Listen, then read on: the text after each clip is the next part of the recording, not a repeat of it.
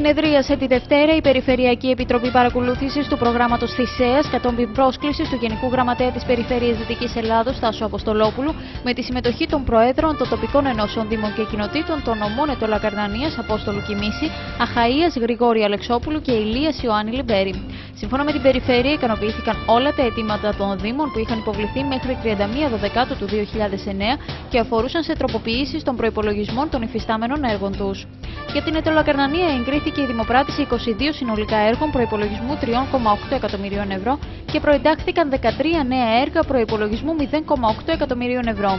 Επισημάθηκε όμως ότι όλα τα νέα έργα και τα οριστικά ενταγμένα πρέπει να συμβασιοποιηθούν μέχρι 31 Αυγούστου του 2010 ή την 30 Σεπτεμβρίου 2011 ανάλογα με την απορρόφηση των Δήμων. Έγγραφο ντοκουμέντο που έφερε στο φως χθες η ενημερωτική στο σελίδα του thebest.gr και είναι χαρακτηρισμένο ως εξαιρετικά επίγον, δείχνει την κατάσταση που έχει περιέλθει το μεγαλύτερο νοσοκομείο στη Δυτική Ελλάδα, το Πανεπιστημιακό Νοσοκομείο Ρίου.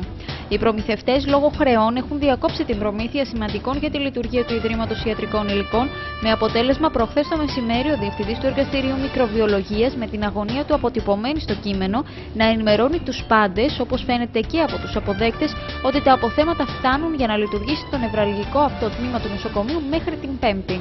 Έτσι, το ίδρυμα κινδυνεύει με blackout στα εργαστήρια, που σημαίνει ότι οι επίγουσες εξετάσεις σε περιστατικά θα είναι αδύνατο να γίνουν, με ό,τι αυτό συνεπάγεται για την ορθή ιατρική αντιμετώπιση τους και κατ' επέκταση για τη ζωή των ασθενών.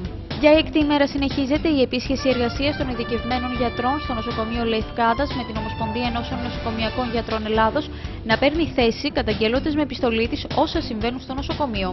Την ίδια στιγμή, η διοικητής του νοσοκομείου, κυρία Μεσίνη, απειλεί γιατρό που συμμετέχει στην επίσχεση εργασίας ακόμη και με απόλυση, εάν δεν επανέλθει στις εφημερίες.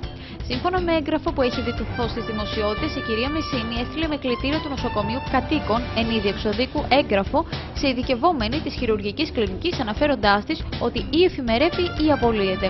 Συνάντηση ωστόσο μέχρι στιγμής ανάμεσα σε εργαζόμενους και η διοίκηση δεν έχει επιτευχθεί, ενώ πιθανολογείται ότι ίσως συμβεί σήμερα.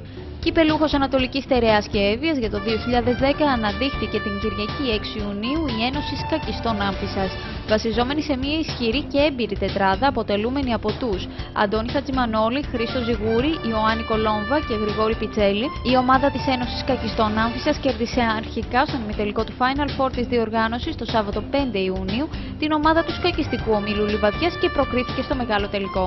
Στην Παπαχαραλάμπη αίθουσα Αναφάκτου θα πραγματοποιηθεί το διήμερο Παρασκευή 11 και Σάββατο 12 Ιουνίου η προβολή τεσσάρων ταινιών γαλλικού κινηματογράφου. Πρόκειται για τέσσερις ταινίες που θα προβληθούν το διήμερο από τις 6 το απόγευμα μέχρι τις 8 το βράδυ για τους μικρούς φίλους του κινηματογράφου και από τις 8 μέχρι τις 10 το βράδυ για τους μεγάλους. Το πρόγραμμα των προβολών έχει ως εξής. Παρασκευή 11 Ιουνίου στις 6 το απόγευμα θα προβληθεί η παιδική κομμωδία Ο Αστερίξ στους Ολυμπιακούς Αγώνες και στις 8 το βράδυ το κοινωνικό δράμα Κουσκού με φρέσκο ψάρι. Το Σάββατο 12 Ιουνίου στις 6 το απόγευμα θα προβληθεί η περιπέτεια, η Αλεπού και το παιδί, ενώ στις 8 το βράδυ το αστυνομικό έργο Ωρα 0.